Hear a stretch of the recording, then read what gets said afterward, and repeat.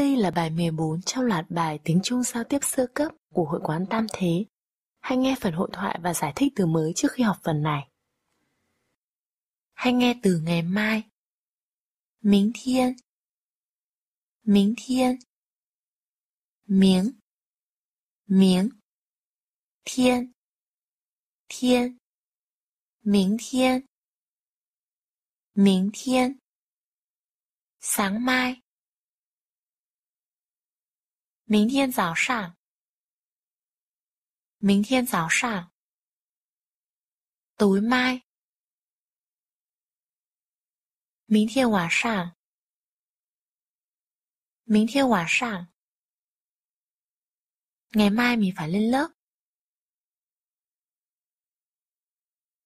明天我要上课。明天我要上课。Mai bố mẹ mình rất bận.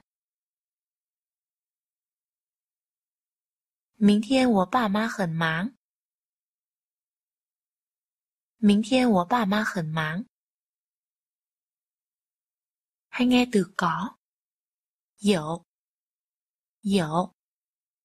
Có tiết học. Hiểu khở. Hiểu khở. Ngày mai bạn có tiết học không? 明天你有课吗？明天你有课吗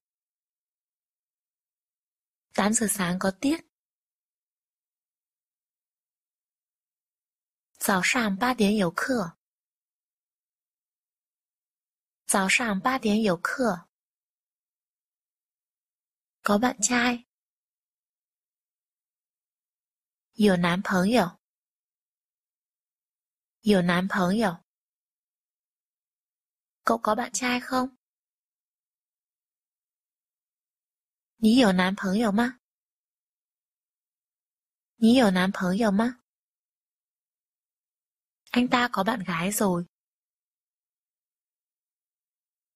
他有女朋友了。他有女朋友了。Có từ điển tiếng Hán. 有汉语词典。有汉语词典。Có từ điển Việt Nhật。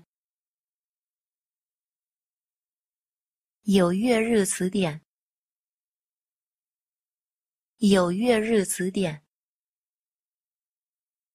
Hay nghe từ buổi sáng nói chung, thường chỉ từ 9 giờ sáng trở đi. Sang ngủ. Sang. Sang.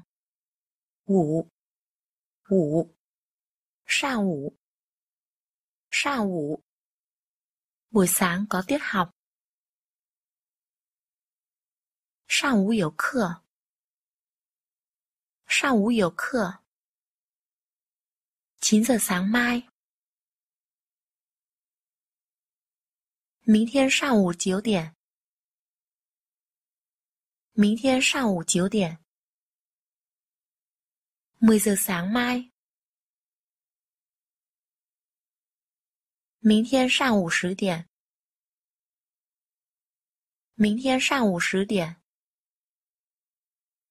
Hãy thử nhắc lại, 7 giờ sáng mai. 明天早上七点。明天早上七点。7 giờ sáng mai bắt đầu vào học. 明天早上七点开始上课。明天早上七点开始上课。10 giờ sáng mai bắt đầu vào học.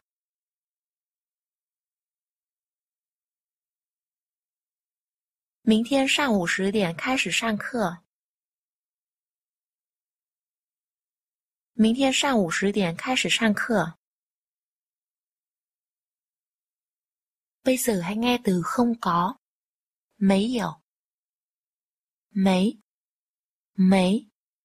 Hiểu. Hiểu. Mấy hiểu. Mấy hiểu. Không có tiết học. Mấy hiểu khờ. Mấy hiểu khờ. Không có sách tiếng Trung. Mấy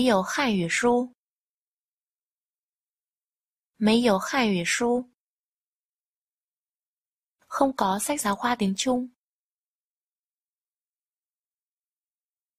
Mấy hiểu Hàn ngữ khở bản. Mấy hiểu Hàn ngữ khở bản. Hãy nhắc lại sách giáo khoa. Khở bản. Không có Đại học Đông Phương. Mấy hiểu Tung Phang Đại Xuế. Mấy hiểu Tung Phang Đại Xuế.